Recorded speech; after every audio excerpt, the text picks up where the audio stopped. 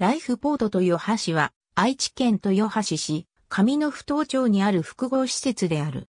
コンサートホール、女性会館、勤労青少年ホームなど、6つの施設からなり、合唱やオーケストラなどのコンサートのほか、講習会や各種イベントにも利用されている。音楽芸術の鑑賞、発表の場としてよく利用される。また、リハーサル室、ソリスト室、指揮者室、学院室を備えている。楽器の貸し出しも可能。利用するには、使用日の5日前までに、所定の使用承認申請書を提出する必要がある。予約も可能。講演会、セミナー、音楽会など多目的に利用できるホール。座席は移動が可能。楽屋、講師控室を備えている。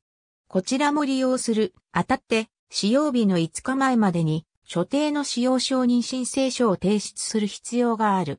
予約も可能。教職員の各種研修、研究をはじめ、視聴覚教材の制作等を行うための施設。研究及び研修のために使用する教職員の使用が優先されるが、一般人も利用可能。映写機、覚醒装置、液晶プロジェクターの貸し出しが可能。女性の学習活動の促進、団体、グループの育成やネットワーキングを図るための施設。女性の団体、グループの使用が優先されるが、一般人も使用可能。各種研修や相互交流を通じて、教養を高め、趣味を広げる勤労者の活動の拠点となることを目的に作られた施設。働く青少年がアフターファイブや休日を有意義に過ごしてもらえることを目的に作られた施設。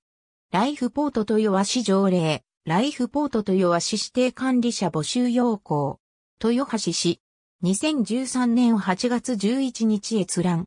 平成21年度指定管理者候補者、選定結果。ありがとうございます。